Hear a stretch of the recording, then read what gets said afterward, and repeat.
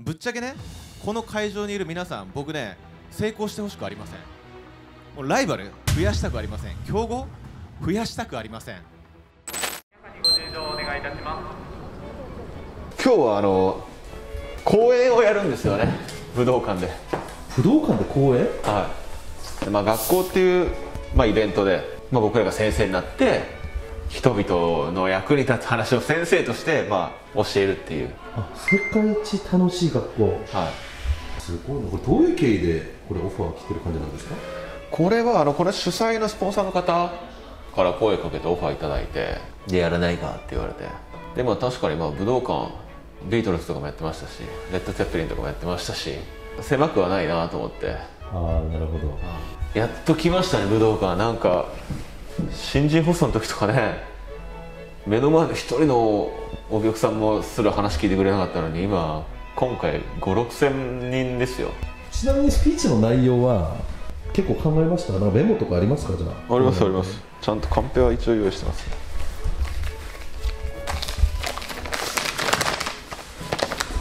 結構ちゃんと準備してきましたね。わあこの 4行だけ？まあ基本的には自分の言葉で喋りたいんではまあ一応ねメモは取ってますけど、まあ、僕は結構基本的にそういうタイプですね感覚で喋ることが多いんで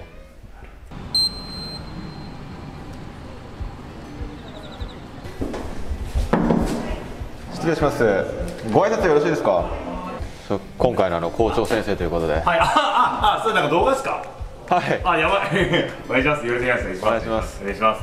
今日何話されるんですか？今日はちょっとねあの申し上げにくいんですけど、なんかあの自己啓発とかあるじゃないですかあああいうのに頼りすぎるとちょっと危ないよみたいなそう絶対いい動画いい動画です。はい、させていただこうかなと思いましよてし本番楽しみにしてます。ありがとうございます。お願いします。お願いします。すみません、わざわざご丁寧に。はい失礼しますお願いします。お願いします。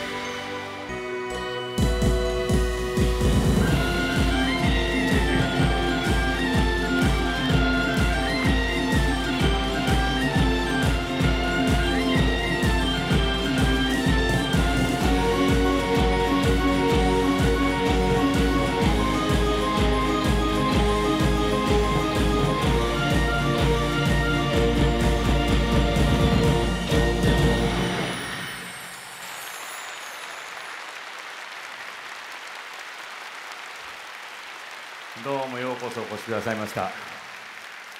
まあ、あの早速ですね今日はあの僕はうだうだうだうだしゃべるイベントではなくてですねあの勉強になるようなお話をさせていただくまあ僕もさせていただくんですけどもゲストの方もしていただくっていうことで、まあ、早速、え本編の方に入りたいんですけれども残念なお知らせが一つごめんなさいねあのオープニングからこんなこんなこと僕は言いたくないんですけれども残念なお知らせが一つだけあってですね、えートップバッターで出てまいります堀江貴文さん歌う気満々でございます。で噂によるとこう歌を歌われるっていうところで。まあ歌は余興で。だって武道館っつったら歌でしょ。まあそうですよね、はい。そういう発想があのできることが大事だよっていうのを本当うちの社員とかにもあのああそうなんですね。はい。舞台袖からちょっとこっそり見ておきますはい。ありがとうございます。はい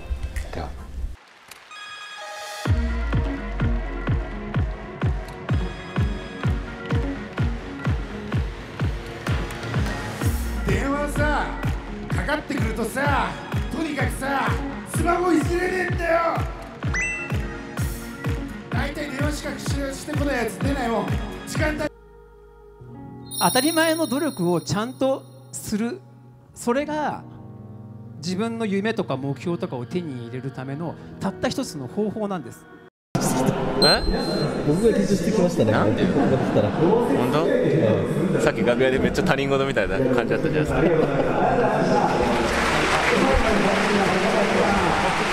では行ってきたいと思います。続いての先生はこの方です。どうぞ。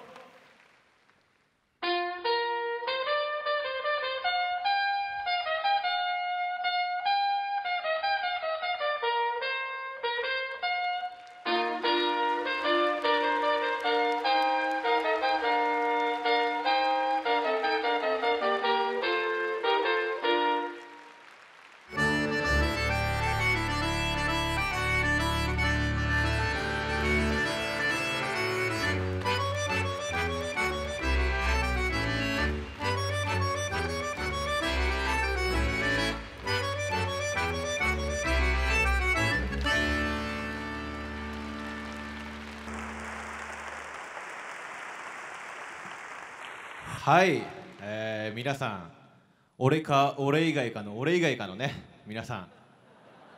こんにちは。ローランドです。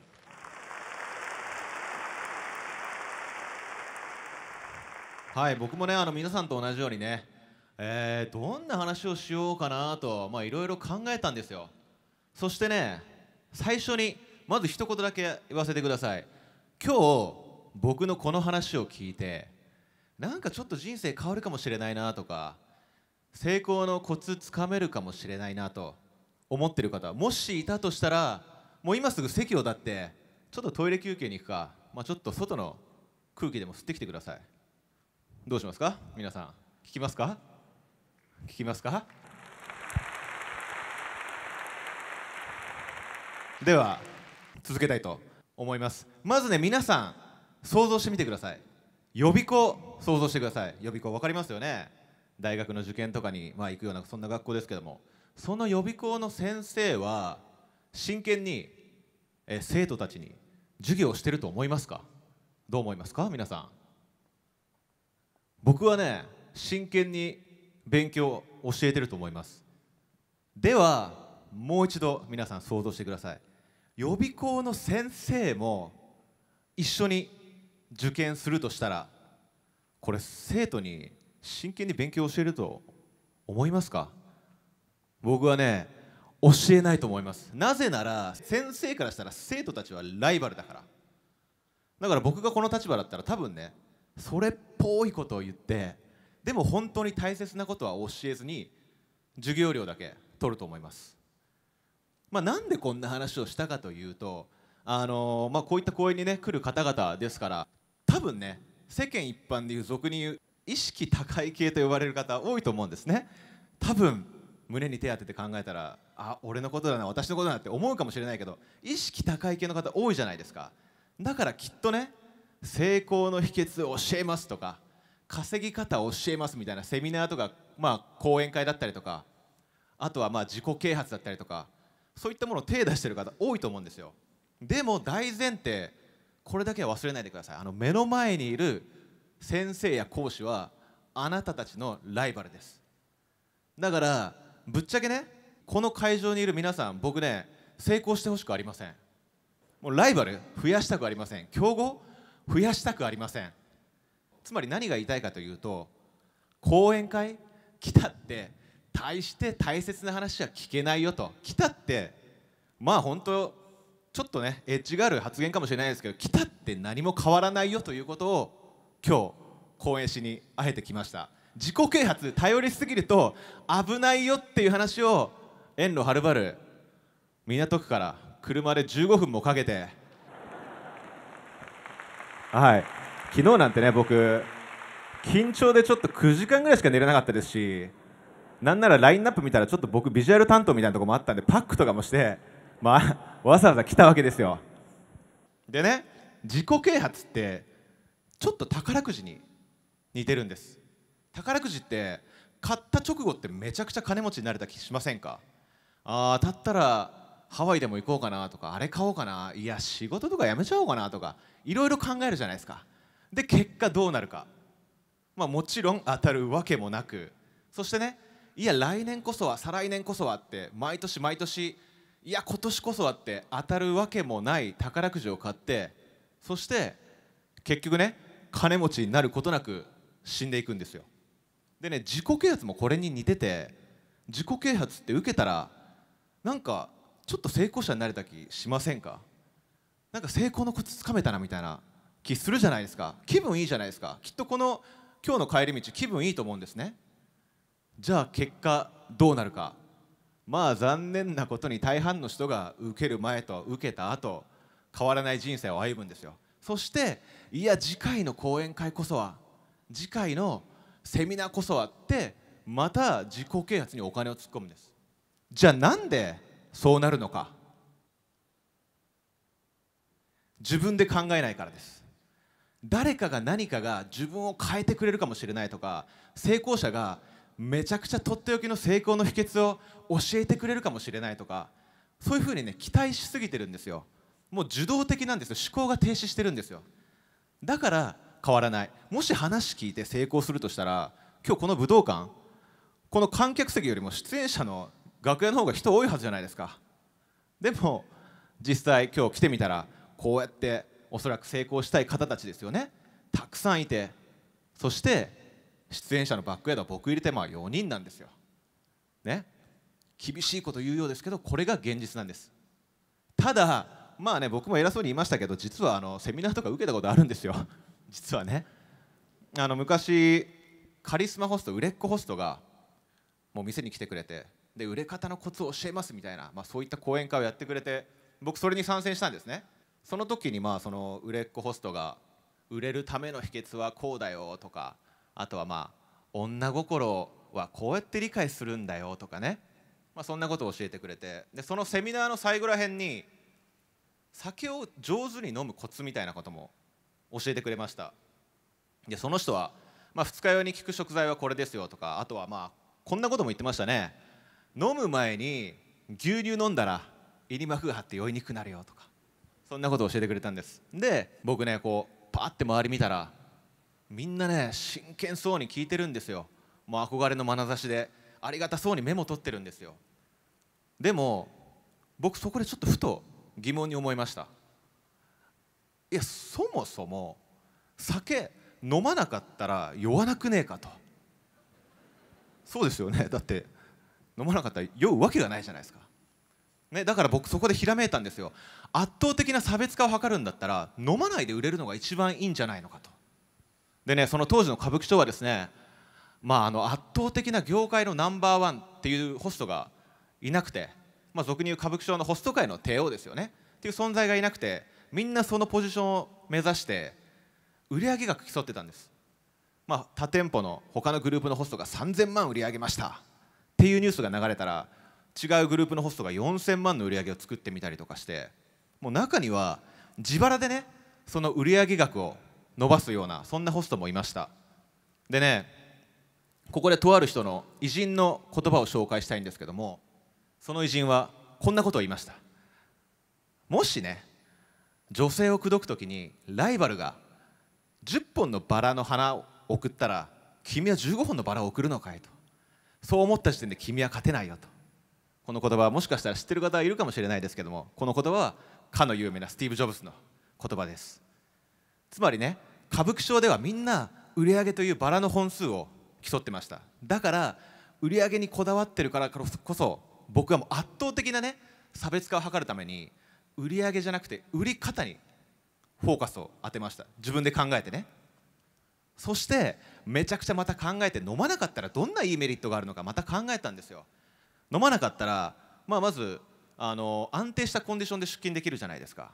あと酔っ払って、まあ、接客乱れることもないんで安定した接客を提供できますよね。そして何より車で出勤できんじゃんと。だったらめっちゃかっこいい車買ってそれで通勤したら俺めちゃくちゃ目立たねえかなと。で実際僕ロールスロイス買うんですけど、まあ、それで酔っ払いたちがねもうきつそうに酔っ払いのホストたちがかっこ悪く街歩いてるわけですよ。営業後の。でそこに僕ロールスロイスでこうさっそうと通勤して邪魔なホストとかいたらもうちょっとクラクション鳴らしてねどかしたりとかして、まあ、ちょっと嫌なやつだったんですけど、まあ、結果どうなったかって言ったらそれが面白くて圧倒的なこう別格感を出せてそしてテレビに出ることができました。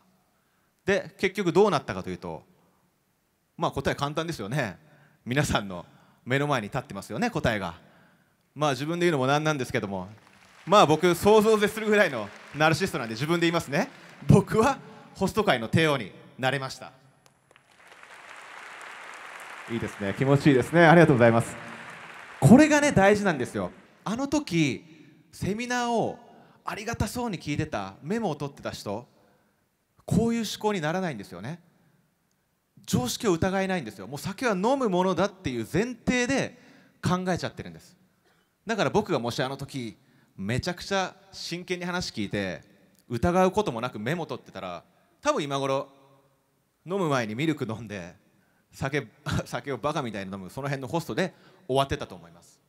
もう一個ね分かりやすい例えを出しましょう。皆さん信号機分かりますよね？まあ誰でも分かると思うんですけども信号機あるじゃないですか。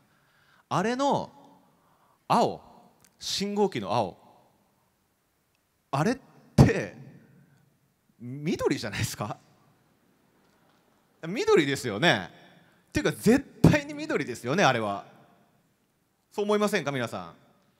ねあれ緑なんですよでも幼少期からあれは青ですよ青ですよ青ですよって言われてもしかしたらちっちゃい子の中にはあれ緑じゃねえかって疑問持った人もしかしたらちっちゃい子でいるかもしれないですけどそれでも青だ青だって言われて周りがみんな青だと言うからあれは何色ですかと聞かれたらあれは青ですと答えるわけですよ。まあそれと一緒でこうやってね今真面目そうにみんな聞いてくれてるじゃないですか。そういう人が一番成功しないんですよね。みんな真面目に聞いてますよね。そこの方もそこの方も。ちょっと眠そうにしてる方いますけど飛ばして。みんな真面目に聞いてますよね。それが一番危ないんです。わかりますか？もうね俺の話なんてあいつ何言ってんだと。それぐらいひねくれた気持ちで聞くぐらいでちょうどいいんですよ。真面目に聞いちゃダメなんですよ。だって成功者の方見てくださいよ。堀江さんとか。あの人歌ってましたよね。絶対歌ってましたよねあれはね。そんな真剣に聞いてる人が真剣にメモ取ってる人があんなことできますか？でも彼は紛れもない成功者じゃないですか。僕が言いたいのはそういうことなんですよ。常識を疑ってください。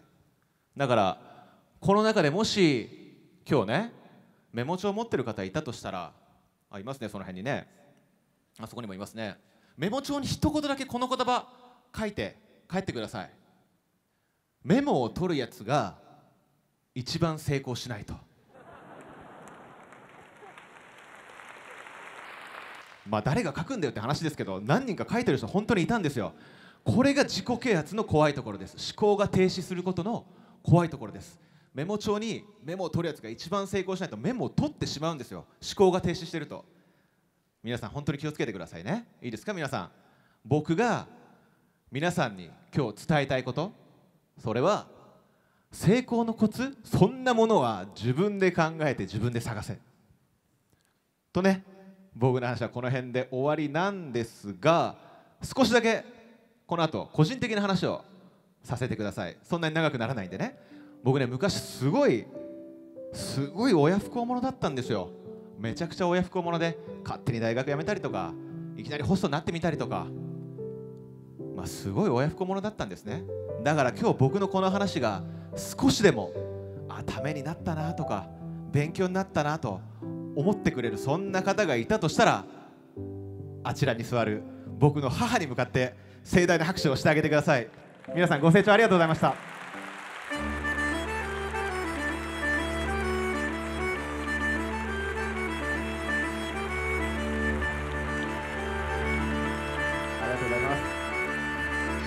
したお疲れ様でした。ありがとうございました。お母さんもいらっしゃるんですか？そうなんですえよどちらですか？あの辺に座ってますよ。えー、お母様ありがやとうございます。っと親孝行できましたね。いやありがとうございます。お母様どうもありがとうございます。ローランドさんあのちょっと僕からローランドさんにクレーム言っていいですか？はい何でしょう？あのちょっと順番を考えていただ あので出番順を考えていただかないと僕この後出て行って第一声今から言うこと全部メモ取れって言おうとしてる。どうしてくれるんですか？いや一言目それだったんです僕。いや申し訳ございませんいやいい話はもちろんいい話をしてくれる先生もいますよ、はい。ね、でも田中社長が成功の秘訣って言った後に喋りたくねえなっていうのはね。いやそうですよ。田中さん今もうどうしたらいいかわかんないです。ただあの実行しないと意味がないっていうことですね。そう。当然ですけど、はい、聞いてるだけでははい。っていうことですから、はい。い、やちょっと頑張りたいと思います。頑張ってください。ありがとうございます。ローランドさんでした。どうもありがとうございましありがとうございましたた。ありがとうございました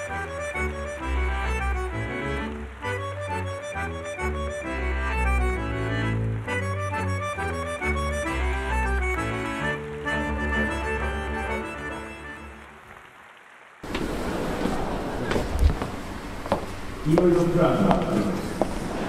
様でした。お疲れ様でした。う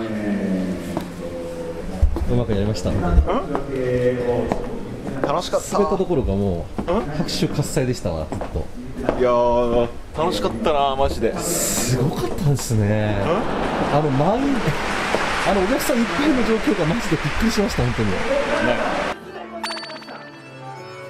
お疲れ様でした。なんかめっちゃはいや申し訳ないです。わ変な意味ではないです。はい。さすが。いやいやいや。えー、お母さん知ってたら探してたな。そこ教えないんだ俺に。でちょうどね入学式が武道館でで武道館で大学や初日で辞めたじゃないですか。その武道館でちょっと親孝行したいなってずっと思ってて。だから最後の一言だけ決めときました